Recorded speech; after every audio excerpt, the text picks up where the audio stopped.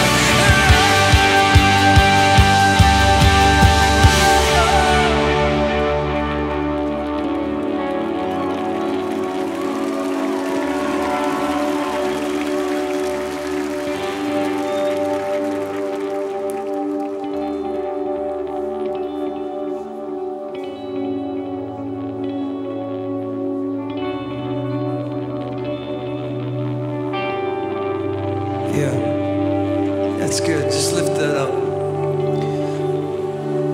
Tell him. It's just between you and him anyway.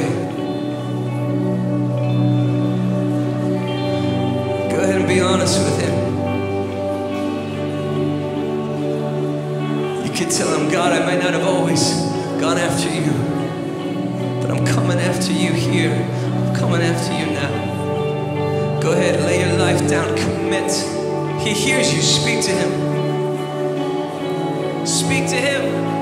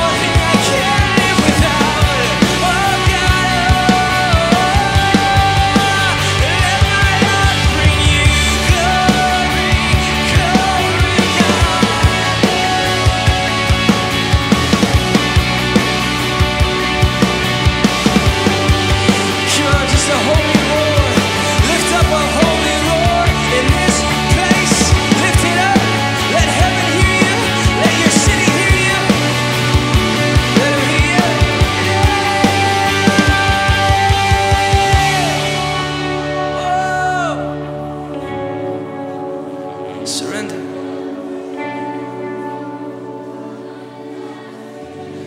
And for those of you who have not You've not given it yet. The Holy Spirit's tugging on your heart. He's inviting you. He's inviting you to open your heart to Him. Do it. If you've never accepted Jesus Christ into your life, do it. You don't have to have anybody lay hands on you. Just say, Jesus, come and rule and reign in me. You are God, I am not. You purchased my life, so I give it over to you. Come make me new. Clean my slate. Thank you for loving me, Jesus.